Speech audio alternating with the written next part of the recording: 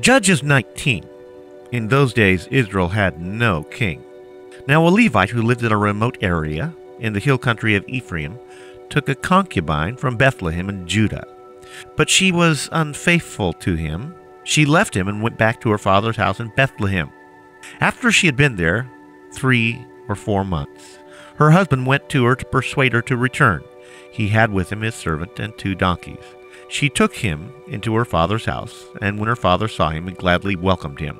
His father in law, the girl's father, prevailed upon him to stay, so he remained with him three days, eating and drinking and sleeping there. On the fourth day, they got up early, and he prepared to leave. But the girl's father said to the son in law, Refresh yourself with something to eat, then you can go. So the two of them sat down to eat and drink together. Afterward, the girl's father said, Please, stay tonight and enjoy yourself. And when the men got up to go, the father in law persuaded him, so he stayed there again that night. On the morning of the fifth day, when he rose to go, the girl's father said, Refresh yourself, wait till afternoon. So the two of them ate together. Then, when the man, with his concubine and his servant, got up to leave, his father in law, the girl's father, said, Now look, it's almost evening. Spend the night here. The day is nearly over. Stay and enjoy yourself. Early tomorrow morning you can get up and be on your way home. But, unwilling to stay another night, the man left and went toward Jebus, that is Jerusalem, with his two saddled donkeys and his concubine. When they were near Jebus, and the day was almost gone, the servant said to his master, Come, let's stop at the city of the Jebusites and spend the night. His master replied, No, we won't go into an alien city whose people are not Israelites. We will go to Gibeah.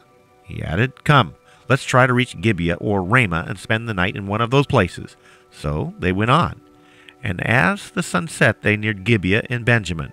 There they stopped to spend the night. They went and sat in the city square. But no one took him into his home for the night. That evening, an old man from the hill country of Ephraim, who was living in Gibeah, the men of that place were Benjamites, came in from his work in the fields. When he looked and saw the traveler in the city square, the old man asked, Where are you going? Where did you come from? He answered, We are on our way from Bethlehem in Judah to a remote area in the hill country of Ephraim where I live. I have been to Bethlehem in Judah, and now I am going to the house of the Lord. No one has taken me into his house. We both have straw and fodder for our donkeys, and bread and wine for ourselves, your servants, me, your maidservant, the young man with us. We don't need anything. You're welcome at my house, the old man said. Let me supply whatever you need. Only don't spend the night in the square. So he took them into his house and fed his donkeys. After they had washed their feet and had something to eat and drink, and while they were enjoying themselves, some of the wicked men of the city surrounded the house pounding on the door. They shouted to the old man who owned the house, Bring out the man who came to your house so we can have sex with him. The owner of the house went outside and said to them, No, my friends, don't be so vile. This man is my guest. Don't do this disgraceful thing. Look, here is my virgin daughter and his concubine. I will bring them out to you, and you can use them and do to them whatever you wish, but to this man, don't do such a disgraceful thing. The men wouldn't listen to them.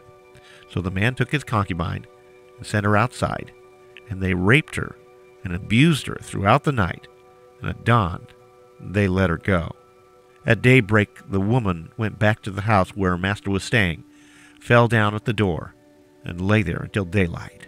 When her master got up in the morning and opened the door of the house and stepped out to continue on his way, there lay his concubine, fallen in the doorway of the house, with her hands on the threshold he said to her, Get up, let's go.